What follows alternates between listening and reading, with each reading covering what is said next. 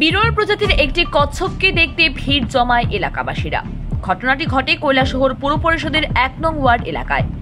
জানা যায়, ওই এলাকার বিজেপি দলের বুথ সভাপতি অমিত দাসের বাড়িতে হঠাৎই আশ্রয় নেয় একটি বিরল প্রজাতির কচ্ছপ। যা দেখার পর অমিত দাস অবাক হয়ে যান।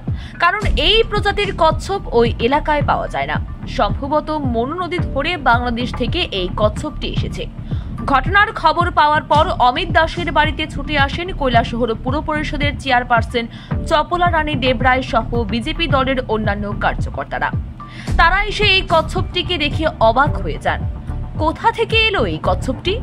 এরপর কৈলাসহর পুর পরিষদের চেয়ারপারসনের উপস্থিতিতে কৈলাসহর টাউন কালীবাড়ি কালীদিঘিতে সেই কচ্ছপটিকে ছেড়ে দেওয়া হয়। পাশাপাশি অম্বাবুচির শুভলগ্নে এই কচ্ছপটি আসার কারণে সেটা মঙ্গলজনক বলে বৈদিক রীতি মেনে পূজার্চনাও করা হয় কৈলাসহর টাউন কালীবাড়িতে। উপস্থিত ছিলেন কৈলাসহর পুর পরিষদের চেয়ারপারসন সহ বিজেপি দলের অন্যান্য নেতাকর্মীরা।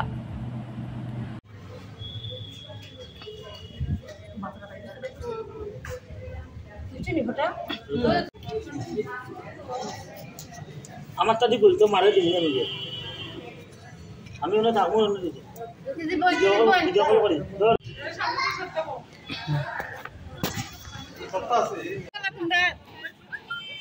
বাবা চলো। কথা হলো দেখেন আমি ঘুম থেকে উঠে এখানে আজকে আমাদের যে ড্রেন পরিষ্কার হচ্ছে সেই ড্রেন পরিষ্কার হচ্ছে কিনা ঠিকমতো কাজ হচ্ছে কিনা দেখার জন্য আমি বেরিয়েছিলাম। বেরোনোর পরে এখানে আরেকটা আমার এই যে শিশু নিকেতন স্কুলের হেডমাস্টার বলছিল ওনাদের অনেক কিছু সমস্যা আছে সেগুলো দেখার জন্য। আমি শিশু নিকেতন স্কুলে গেলাম সেখানে ওদের নানান সমস্যা সেগুলো শুনলাম। শুনে আমি যখন রাস্তাতে আসি তখন আমাদের এক নম্বরের যে ভূত সভাপতি হ্যাঁ,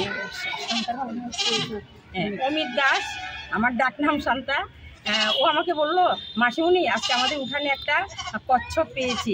কচ্ছপটা কি করব? তখন আমি বললাম, কচ্ছপ পেয়েছ? আমরা তো কালীবাড়ির সামনে আছি। কচ্ছপটা চলো, আমরা সবাই মিলে কালীবাড়ির পুকুরে ছেড়ে দিই, ও বেঁচে থাকুক।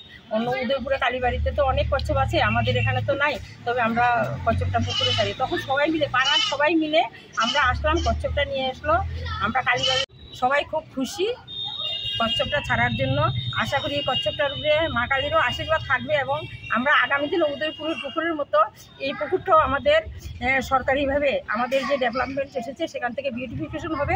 তখন এ ধরনের আশা করি আরও কচ্ছপ যদি আমরা পুকুরে ছাড়ি তবে এটা খুব সুন্দর হবে। মানুষ দেখার জন্য আসবে। এটাও আমাদের কৈলাসের একটা খুব সুন্দর জিনিস ভবিষ্যতে করবে। নমস্কার। কৈলাসহর থেকে শুভঙ্কর দাসের রিপোর্ট। ত্রিপুরা পায়োনিয়ার